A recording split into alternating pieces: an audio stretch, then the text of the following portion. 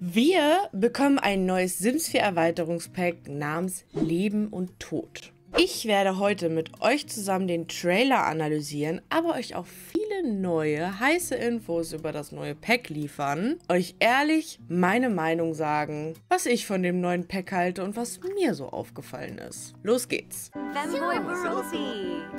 So, das erste, was mir natürlich auffällt, sind neue Klamotten. Neue Klamotten gehen immer. Und vor allem, was mir auch auffällt, und das finde ich auch wichtig, neue Klamotten für unsere Kinder. Also ich liebe schon mal diese Hose. Ich liebe den Stil der, der Oberteile. Also ich finde, da geben sie sich wirklich viel, viel, viel Mühe. Gefällt mir richtig gut.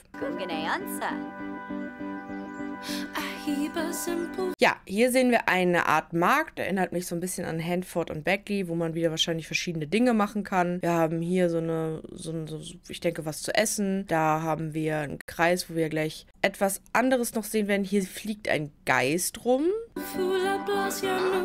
Das Outfit finde ich schon mal sehr funny mit dem Raben. Ich bin auch mal gespannt, was es genau mit diesem Raben auf sich hat.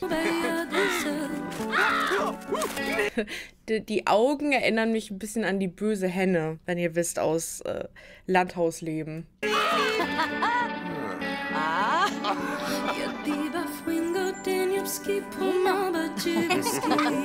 Range. Hier haben wir so eine Art, ich denke mal, das soll so Karten lesen, Tarotkarten lesen darstellen. Was mir auch schon mal im Hintergrund auffällt, seht ihr die schwarzen Rosen? Also auf jeden Fall auch neue Pflanzen. Und das, oh, neue Pflanzen sind immer gut. Und ihr seht auch hier, die fliegen hier wieder durch die Gegend. Ähm, ich könnte mir vorstellen, dass es hier so eine Art Fest ist oder, oder ähm, ja, Vorstellung. Es, es hieß ja, dass man auch irgendwie so eine Art Mondfest feiern kann. Oh, seht ihr den Ring mit dem Totenkopf?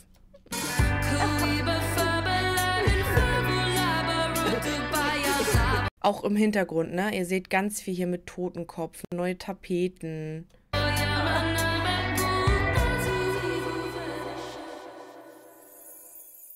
Da wird so ein bisschen optisch dargestellt, da glauben ja viele dran, dass die Seele so den Körper verlässt.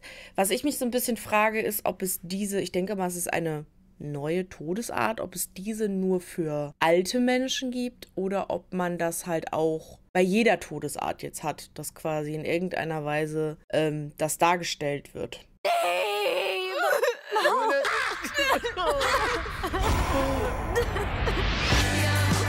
super schöne Welt schon mal. Also ich muss ehrlich sagen, ich gehe noch mal ein Stück zurück. Die Welt erinnert mich sehr stark an eine Mischung aus Hanford und Beckley, Zeit für Freunde, das Unipack. Also es ist so eine wilde Mischung aus allem. Man sieht hier oben eine Burg. Oh, wie sehr würde ich mir wünschen, dass man zu dieser Burg kann. Bitte lass mich zu dieser Burg. Also die Stadt gefällt mir optisch schon mal sehr gut, wobei ich halt sagen muss, es ist halt auch irgendwie wieder nichts Neues, wobei ich auch wiederum sagen muss, wir hatten in letzter Zeit jetzt so viel, ja, diese, diese heißen Orte mit Palmen und Pipapo, dass ich es schön finde, dass mal wieder so ein bisschen was anderes kommt.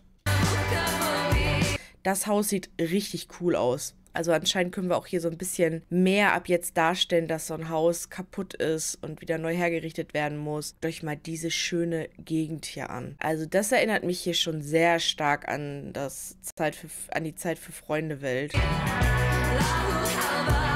Das finde ich auch cool, dass sie so eine Art Mount, ah, korrigiert mich, wenn ich falsch, Mount, Mount Rushmore äh, darstellen. Finde ich richtig, richtig cool. Ich denke mal, man kann vielleicht auch hier unten angeln, vielleicht kann man hier auch schwimmen. Richtig cool dargestellt. Hier sehen wir wieder mal die neue Art an Möbeln, denn wir können endlich, Ladies and Gentlemen, wir können endlich Beerdigungen stattfinden lassen. Und das in ganz verschiedenen Formen. Sei es drin, draußen. Ich denke mal, das wird laufen wie bei Hochzeitsgeschichten. Dass wir ein Ereignis planen, dass wir das gestalten können, dass wir verschiedene Merkmale, Eigenschaften, Dinge, die vor Ort passieren sollen, einstellen können. Aber wie gesagt, das ist etwas, wo ich extreme Angst vor habe, dass es eben genauso katastrophal abläuft wie bei Hochzeitsgeschichten. Denn sie haben es nach Jahren immer noch nicht geschafft, Hochzeitsgeschichten richtig zu fixen. Was gibt mir jetzt die Garantie, dass es jetzt da besser laufen wird? Wenn sie es noch nicht mal geschafft haben, diese Ereignisse und Abläufe bei Hochzeitsgeschichten hinzukriegen. Bis heute auch nicht zu fixen. Sehr schön. Guckt euch mal an, wie süß der. Ah, ich will diesen Pilz mit der Blume. Ja, und ich denke halt auch, das wurde ja auch gesagt, dass es verschiedene Trauerarten gibt. Es soll die Trauerart Wut, Niedergeschlagenheit, Leugnung und Zusammenreißen geben. Also sehr realistisch zum echten Leben.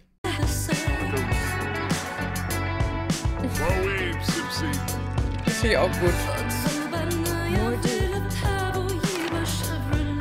Das finde ich auch fantastisch. Wir werden die Möglichkeit haben, ein Erbe zu verfassen und ein Erbe, also dein lebender Sim kann ein Erbe schreiben, was dann, ja, vorgelesen wird nach dem Tod und zu sehr unterschiedlichen Emotionen führen kann.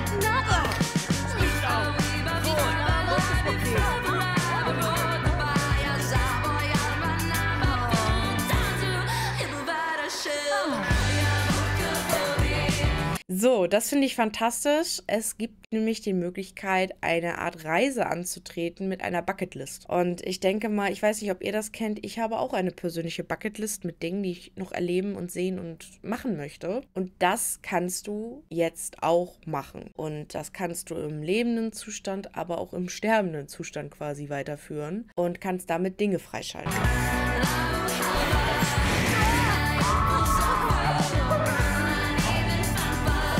Zum Beispiel. Und ich liebe, oh Leute, ich liebe es, einen Haken hinter Dinge zu setzen. Ich liebe es.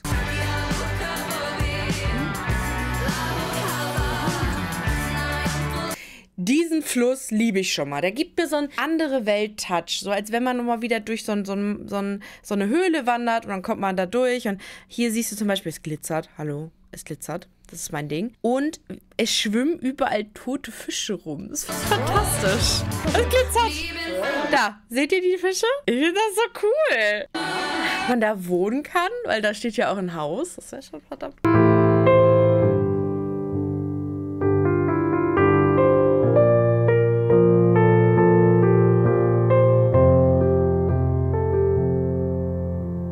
Endlich machen können, was ich fantastisch finde. Wir können einen neuen aktiven, aktiven Job nachgehen als Sensemann-Azubi quasi. Wir können uns da hocharbeiten, können verschiedene Dinge ausarbeiten.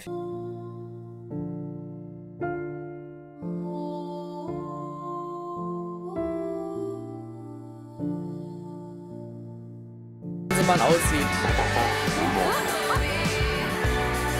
Genau das, dieses auf dem Rücken liegen auf dem See, habe ich auch schon mal in einer ganz wichtigen Situation gemacht. Habe auf einmal mit etwas Frieden geschlossen. Deswegen verbinde ich und fühle ich diese Situation.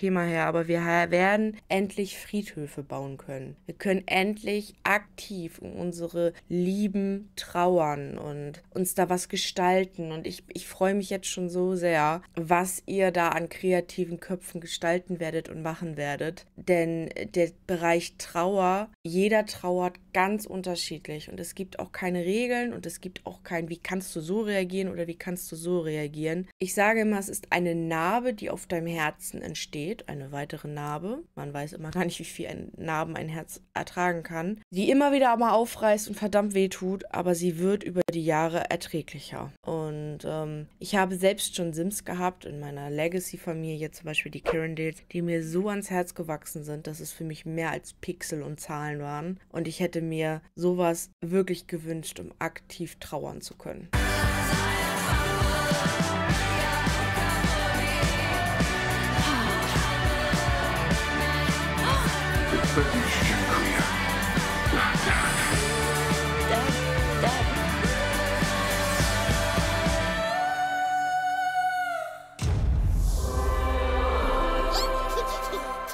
Das ist eine Anspielung darauf, dass es quasi, wenn du die Punkte erfüllst und alles soweit funktioniert, dass du eine Art Wiedergeburt starten kannst. Wie das funktionieren soll, warten wir mal ab.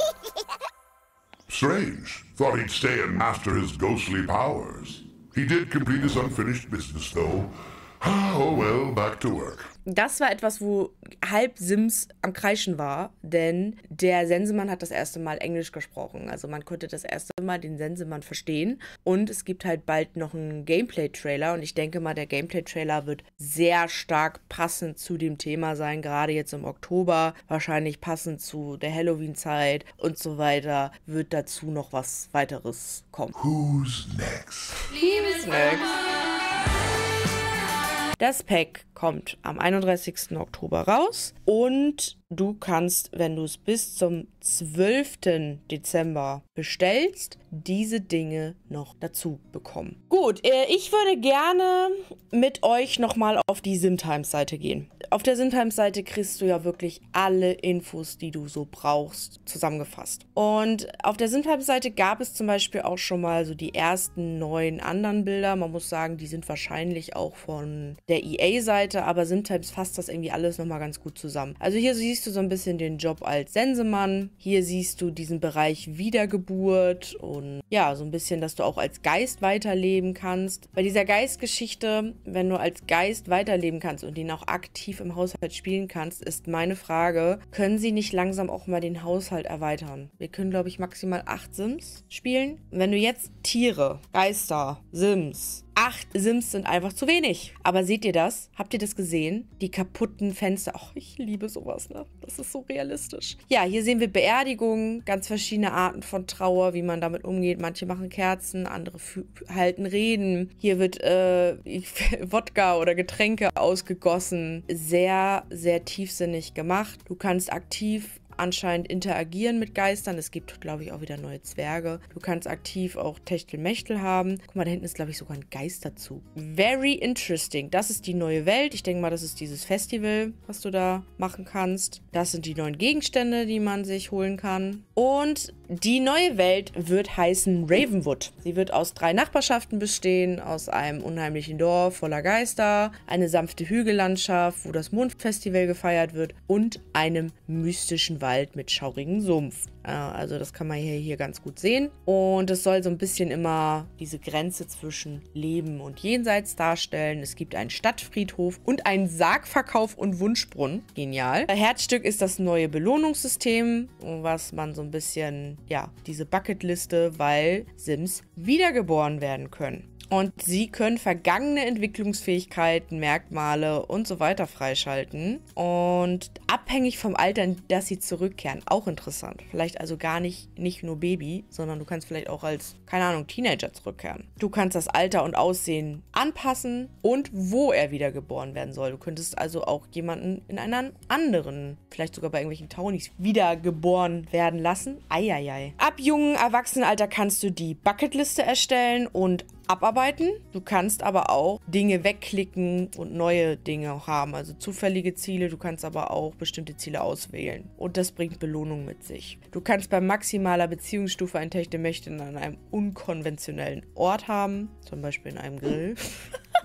Du kannst aktiv Geister spielen, die Chaos stiften können. Du kannst neue Kräfte und Fähigkeiten zum Beispiel hier ausbauen, also Geisterkräfte. Und du kannst den Pfad zwischen guten und bösen Kräften auswählen. Oder neutral. Du kannst sie sogar auch, die Geister, in, einem, in dem Ersteller einen Sim-Modus anpassen. Und bei dem Sensemann ist es so, dass du aktiv an der Seite des Sensemanns arbeiten kannst. Du hilfst ihm dabei, Seelen zu erden, Geistern zu helfen oder Gespenster zu vertreiben. Und du beginnst als Sensen-Zubi. Sehr, sehr kreativ. Und kannst dich aber bis zum Schnitter hocharbeiten, wegen es gibt ja diese Schnitterblume. Bei höheren Karrierenstufen kannst du zum Beispiel entscheiden, welche Seelen du erntest und welche wieder ins Leben zurückkehren. Du könntest also auch, böse gesagt, sagen, oh, mein Feind lasse ich sterben und den lasse ich leben. Oder du kannst eine andere Karriere als Bestatter machen und kannst das Ausheben der Gräber. Ist anscheinend also auch ein aktiver Job. Bis zum Einbalsamieren von Sims. Und das dann aktiv sieht, würde ich auch interessant finden. Aber ich könnte mir vorstellen, dass es dazu dann auch nochmal Mods gibt. Und du kannst Bestattungsunternehmer oder Thanatopraktiker spezialisieren. Ja, klar, kennt man, ne? Das Wort habe ich auch noch nie. Merkt man gar nicht, dass ich das das erste Mal ausgesprochen habe. Du untersuchst als, ihr wisst schon was, Krypten und baust eine, oh nö, eine Fähigkeit, eine neue Fähigkeit aus. Du kannst äh, Beziehung zu Krähen aufbauen und Tarotkarten sammeln. Und es gibt verschiedene Arten der Trauer, da habe ich euch ja schon erzählt. Aber vor allem dieses Verlust eines engen Freundes, Scheidung, Kündigung, Verlust eines Haustiers. Also ich hoffe auch, dass wir dann unsere Haustiere schön, also begraben und trauern können. Du kannst gewisse Trauerrituale festlegen, wie die Kleiderordnung, Ort und Zeit, verschiedene Aktivitäten. Also es ist so vom, vom Baustein her aufgebaut, würde ich sagen, wie bei Hochzeitsgeschichten oder bei anderen Dingen. Kannst Erbstücke weitergeben. Erziehungsberechtigte festlegen, finde ich auch sehr wichtig. Festlegen, wer sich um die Haustiere kümmern soll, Simoleons vererben oder für den guten Zweck spenden. Das wäre natürlich gemein, wenn du so einen Millionär hast, der dann sagt, ich spende alles für den guten Zweck. Und dann hast du aber so Kinder, die sich, ne, die, die das Leben lang schon heiß aufs Erbe sind. Wünsche äußern für die Beerdigung auch sehr gut und emotionale Reaktionen festlegen, die bei der Testamentsverlesung anwesend sind. Drama, Drama. Ja,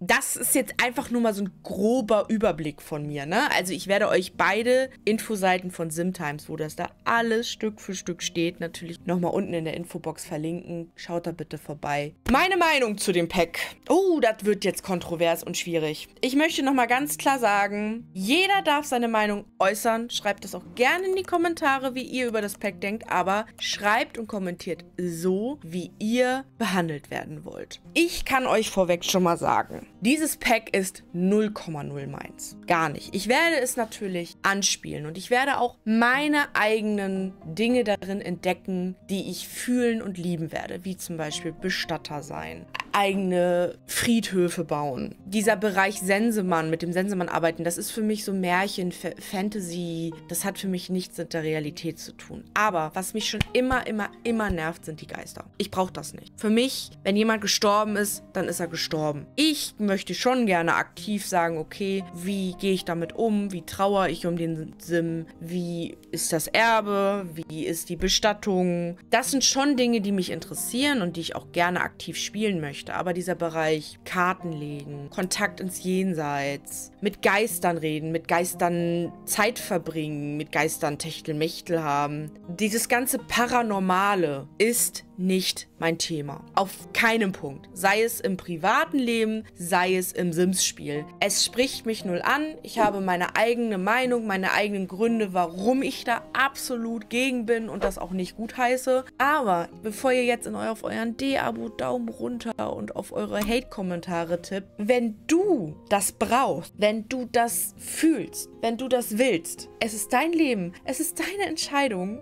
Du kannst spielen, was du willst. Ich finde es nur richtig, dass jeder heutzutage oder allgemein seine Meinung haben darf. Und man darf auch mal unter auseinandergehen. Und es gibt auch genug andere Sims-YouTuber, die sagen, endlich, ich will Wiedergeburten machen, ich will Karten legen, ich will mit Geistern spielen. So, jeder pickt sich seine Sachen, egal in welchem Pack, egal in welchem Set oder was auch immer raus, die er sagt, die fühle ich, die liebe ich, die zeige ich dir. Und du wirst, egal welche Meinung und egal welchen Spielstil jemand hat, Dinge finden bei jedem anderen, selbst wenn er gewisse Teile auslässt, weil er sie nicht fühlt und sie nicht gut heißt oder nicht spielen will, die du vielleicht dann noch nicht gesehen hast. Ich werde mich, wie gesagt, auf ganz andere Aspekte konzentrieren. Ich freue mich darauf. Ich werde auch wie immer dieses, äh, dieses Pack mit euch an dem 31. live anspielen. Auf Twitch sowie auf YouTube. Wir werden live Dinge ausprobieren, aber gewisse Aspekte werde ich rauslassen. Das habe ich bei paranormale Phänomene auch gemacht.